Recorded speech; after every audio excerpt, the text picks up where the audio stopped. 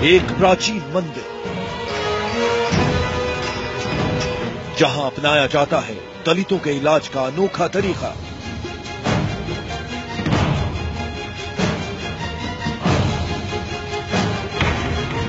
यहाँ नहीं होती किसी डॉक्टर की ज़रूरत। यहाँ नहीं चलता किसी वैद का नुस्खा। जूठी पत्तलों पर लोट लगाने से मिट जाता है कोर। मिट जाते हैं त्वचा के सारे रोग।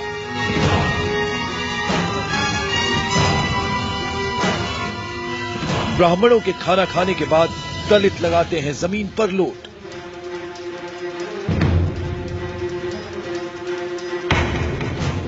आस्था के नाम पर होता है इंसान का अपमान।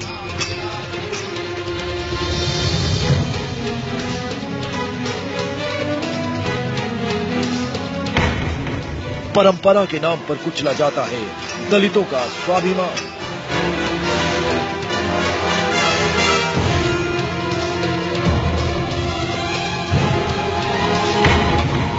भगवान के घर में होता है दलितों का अपमान। हैरान कर देने वाली ये तस्वीरें आपने देखी, कहते हैं, भगवान के दर पर सब समान है। कोई छोटा या फिर बड़ा नहीं है। लेकिन दक्षिण भारत के एक प्राचीन मंदिर में परंपरा के नाम पर दलित समुदाय के लोगों के साथ जो बर्ताव किया जाता है, वो चौंकाने वाला है। सदियों पुरानी परंपरा के नाम पर अत्याचार झेल रहे दलितों ने पहली बार इस अपमान के खिलाफ आवाज़ उठाई है।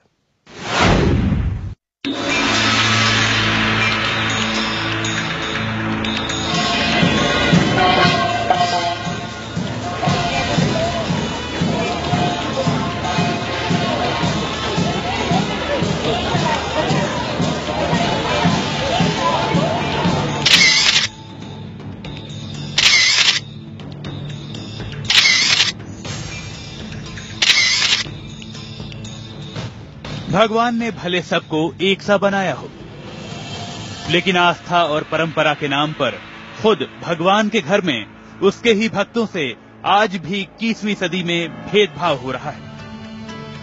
परंपरा के नाम पर दलितों को यूँ जलील किया जा रहा है। दलितों को जलील करने, उनका सामाजिक शोषण करने की बानगी है ये तस्वीरें।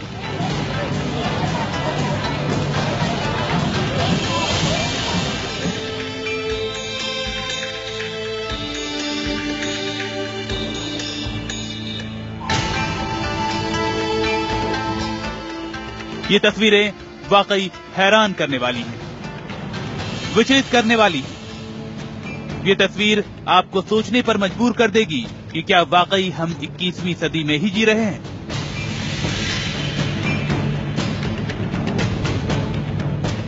लेकिन कर्नाटक के मशहूर कुक के श्री सुब्रमण्य मंदिर में ये सदियों पुरानी परंपरा है। 400 साल पुरानी मधे स्नाना नाम की इस परंपरा के नाम पर दलितों को ज़मीन पर पड़ी खाने की जूठी पत्तलों पर लोट लगाने को कहा जाता है। या यूँ कहें कि उनके स्वाभिमान को कुचला जाता है।